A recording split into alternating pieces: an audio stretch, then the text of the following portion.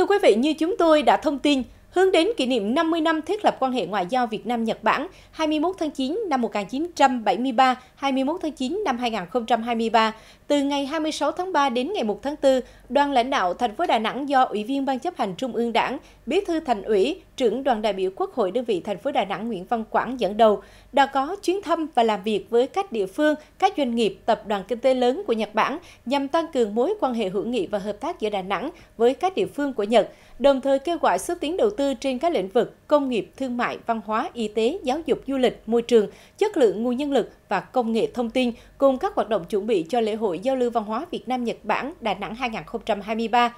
Hôm qua, ngày 1 tháng 4 năm 2023, đoàn đã về đến Đà Nẵng, kết thúc tốt đẹp chuyến thăm và làm việc tại Nhật Bản. Sau đây là tổng hợp chuyến công tác của đoàn lãnh đạo thành phố Đà Nẵng tại Nhật Bản. Điểm đến đầu tiên của đoàn là tập đoàn FPT Nhật Bản. Đơn vị hiện có 13 văn phòng với hơn 400 khách hàng, hơn 2.300 nhân viên, trong đó 22% là người Nhật Bản và 50% nhân viên là người Việt Nam được đào tạo tại Nhật Bản. Doanh thu của tập đoàn đạt 38 tỷ yên, chiếm 34% doanh thu toàn FPT Software.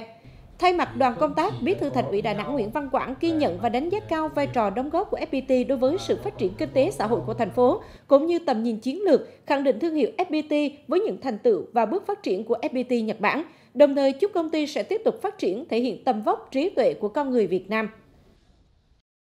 Tại thành phố Yokohama, Bí thư Thành ủy Nguyễn Văn Quảng nhấn mạnh, năm 2023 cũng là năm đánh dấu 10 năm quan hệ hợp tác Đà Nẵng và Yokohama, đồng thời đánh giá cao mối quan hệ hợp tác của hai địa phương và cho biết Đà Nẵng và Yokohama có sự phát triển tương đồng và cùng hướng đến những lĩnh vực mà mình quan tâm như quy hoạch, quản lý đô thị, môi trường, xử lý nước thải. Hai bên cũng đang hướng đến phát triển y tế chất lượng cao, tăng cường trao đổi nguồn nhân lực trong lĩnh vực y tế, xây dựng và quản lý hạ tầng cảng biển. Bí thư Thành ủy hy vọng hai bên sẽ tăng cường hơn nữa sự hợp tác trong tương lai. Tại tỉnh Kanagawa, Bí thư Thành ủy Nguyễn Văn Quảng nhắc lại ấn tượng tốt đẹp khi ngài thống đốc Kurowa Iuji đến thăm Đà Nẵng vào tháng 11 năm 2022, gửi lời cảm ơn những hoạt động mà tỉnh Kanagawa đã triển khai sau chuyến công tác tại Đà Nẵng năm 2022 vừa qua, đặc biệt trong lĩnh vực y tế. Bí thư Thành ủy mong muốn ngài thống đốc sẽ tiếp tục thúc đẩy quan hệ hợp tác kinh tế giữa hai địa phương, góp phần làm sâu sắc hơn mối quan hệ hợp tác giữa Việt Nam Nhật Bản nói chung, Đà Nẵng Kanagawa nói riêng. Tại thành phố Kisarazu, địa phương đã ký kết bản ghi nhớ thiết lập quan hệ hữu nghị và hợp tác với thành phố Đà Nẵng vào tháng 7 năm 2019. Bí thư Thành ủy Nguyễn Văn Quảng đánh giá cao kết quả hợp tác giữa hai bên trong thời gian qua, nhất là đã phối hợp tổ chức nhiều hội thảo xúc tiến đầu tư du lịch giao lưu văn hóa. Bí thư Thành ủy Nguyễn Văn Quảng khẳng định Đà Nẵng rất hoan nghênh và chào đón các nhà đầu tư từ thành phố Kisarazu nói riêng và Nhật Bản nói chung đến đầu tư tại thành phố. Việc tập đoàn Mikazuki đầu tư thành công ở Đà Nẵng là một minh chứng tiêu biểu cho các doanh nghiệp Nhật Bản đến với thành phố. Tại thành phố Sakai, Bí thư Thành ủy Nguyễn Văn Quảng bày tỏ sự vui mừng được gặp lại ngài thị trưởng Naga Fuji Hideki. Bí thư Thành ủy đánh giá cao sự quan tâm thúc đẩy quan hệ hợp tác giữa hai địa phương của thị trưởng và đồng tình với chủ trương chung trong quan hệ ngoại giao hai nước là tăng cường đối ngoại nhân dân, giao lưu văn hóa. Hai bên đã cùng nhau trao đổi thêm nhiều vấn đề liên quan đến việc tiếp tục đẩy mạnh hợp tác đầu tư, cũng như việc thành phố Sakai quan tâm hỗ trợ chia sẻ kinh nghiệm cho Đà Nẵng trong việc phát triển lĩnh vực quản lý đô thị môi trường đào tạo nguồn nhân lực, nhất là trong lĩnh vực y tế. Đến thăm và làm việc với tập đoàn Metran tại Saitama, Nhật Bản, đơn vị chuyên sản xuất thiết bị y tế công nghệ cao tại Nhật Bản với kinh nghiệm hơn 40 năm – Bí thư Thành ủy Đà Nẵng Nguyễn Văn Quảng đánh giá cao và trân trọng những đóng góp của cá nhân Chủ tịch Tập đoàn Metran Trần Ngọc Phúc cũng như của tập đoàn đối với nước Nhật và thế giới. Dù có nhiều khó khăn nhưng luôn hướng tới việc đóng góp cho đất nước Việt Nam. Thành phố coi trọng mong muốn được hợp tác và sẽ tạo điều kiện tốt nhất hỗ trợ tập đoàn triển khai dự án tại Đà Nẵng, cung cấp cho thị trường Việt Nam và xuất khẩu ra thế giới. Đến thăm và làm việc với Tập đoàn Thương mại Aeon, một tập đoàn có lịch sử hình thành và phát triển trên 250 năm và là tập đoàn thương mại bán lẻ lớn nhất trên thế giới. Bí thư Thành ủy Nguyễn Văn Quảng khẳng định một lần nữa về sự cam kết hỗ trợ đồng hành của thành phố với doanh nghiệp trong kế hoạch mở rộng hoạt động đầu tư kinh doanh tại Đà Nẵng của tập đoàn. Đồng thời đề nghị Ủy ban nhân dân thành phố chỉ đạo các đơn vị nhanh chóng triển khai thủ tục pháp lý liên quan đấu giá quyền sử dụng đất để sớm hiện thực hóa bản ghi nhớ hợp tác phát triển về việc nghiên cứu đầu tư đã được hai bên ký kết vào ngày 24 tháng 6 năm 2022.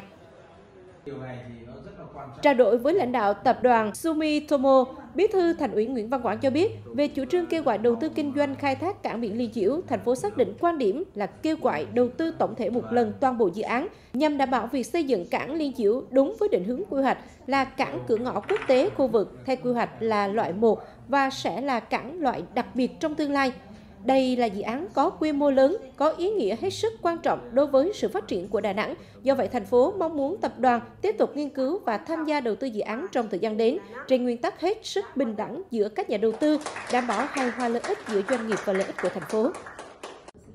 Tại tập đoàn Basona, tập đoàn nhân sự tổng hợp lớn nằm trong top 3 tại Nhật – Phó Chủ tịch Thường trực Ủy ban Nhân dân thành phố Hồ Chí Minh đánh giá cao nỗ lực của tập đoàn trong đào tạo nguồn nhân lực, đặc biệt là nhân lực công nghệ thông tin tại Việt Nam nói chung và Đà Nẵng nói riêng, đồng thời ủng hộ kế hoạch đầu tư IT Lab cũng như các dự án khác của tập đoàn tại Đà Nẵng, đồng thời đề nghị Ban xúc tiến và hỗ trợ đầu tư tiếp tục phát huy vai trò cơ quan đầu mối trong công tác xúc tiến đầu tư để tiếp tục đồng hành cùng doanh nghiệp, kịp thời báo cáo Ủy ban Nhân dân thành phố vướng mắc phát sinh trong quá trình triển khai thủ tục đầu tư.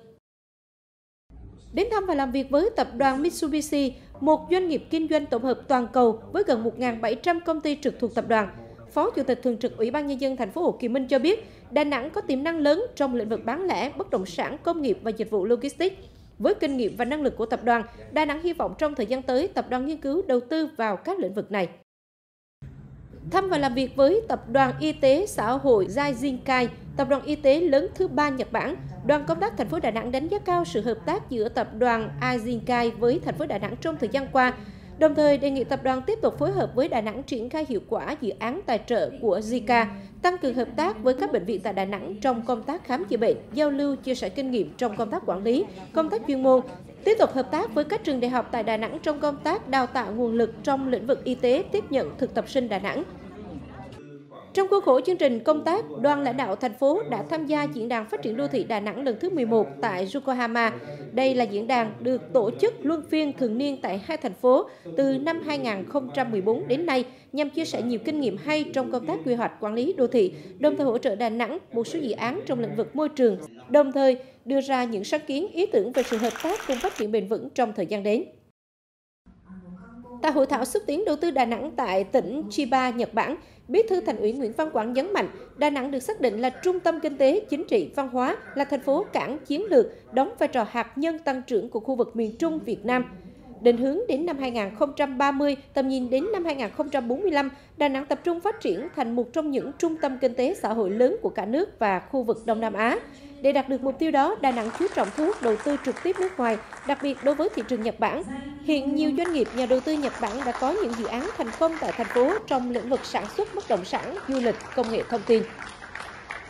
Còn tại hội thảo xúc tiến đầu tư du lịch vào Đà Nẵng, Bí thư Thành ủy Đà Nẵng Nguyễn Văn Quảng đã nhấn mạnh, Đà Nẵng là điểm đến đầu tư kinh doanh triển vọng hàng đầu của các nhà đầu tư trong nước và quốc tế, là một trong những điểm đến du lịch nổi tiếng của Việt Nam và khu vực châu Á. Bí thư Thành ủy Đà Nẵng bày tỏ mong muốn mời gọi nhiều hơn nữa các doanh nghiệp Nhật Bản đến đầu tư kinh doanh du lịch và sinh sống tại Đà Nẵng.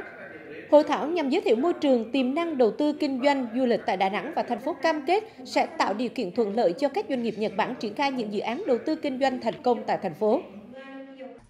Dịp này, đoàn công tác thành phố Đà Nẵng đã thăm và làm việc với Tổng lãnh sự quán Việt Nam tại Osaka. Bí thư Thành ủy Nguyễn Văn Quảng chân thành cảm ơn Tổng lãnh sự Ngô Trịnh Hà và Tổng lãnh sự quán Việt Nam tại Osaka đã hỗ trợ đoàn công tác thành phố, đặc biệt đã phối hợp hỗ trợ trong công tác chuẩn bị hội thảo xúc tiến đầu tư du lịch tại Osaka. Bí thư Thành ủy mong muốn Tổng lãnh sự quán Việt Nam tại Osaka sẽ tiếp tục hỗ trợ Đà Nẵng quảng bá hình ảnh, kết nối với các đối tác Nhật Bản, tăng cường xúc tiến đầu tư, thúc đẩy giao lưu văn hóa, nhất là sự kiện lễ hội giao lưu văn hóa Việt Nam Nhật Bản tại Đà Nẵng dự kiến diễn ra vào tháng 7 năm 2023. Thưa quý vị, có thể nói chuyến công tác của đoàn lãnh đạo thành phố Đà Nẵng tại Nhật Bản vừa qua đã thành công tốt đẹp đây cũng là cơ sở để thúc đẩy mối quan hệ hợp tác giữa Đà Nẵng với các đối tác Nhật Bản trên tất cả mọi phương diện chính trị, kinh tế, xã hội, đối ngoại, hợp tác quốc tế lên tầm cao mới. Đây cũng là mục đích hướng tới của Đảng bộ, chính quyền Đà Nẵng, nhất là đối với Nhật Bản, từ đó quảng bá nâng cao vị thế của Đà Nẵng trên trường quốc tế, góp phần tạo động lực mạnh mẽ, thu hút các nguồn lực đầu tư từ các tập đoàn kinh tế lớn trên thế giới nói chung và Nhật Bản nói riêng. Từ đó phấn đấu xây dựng và phát triển thành phố Đà Nẵng thực sự là trung tâm kinh tế, chính trị, văn hóa, là thành phố cảng chiến lược, đóng vai trò hạt nhân tăng trưởng của khu vực miền Trung, Tây Nguyên.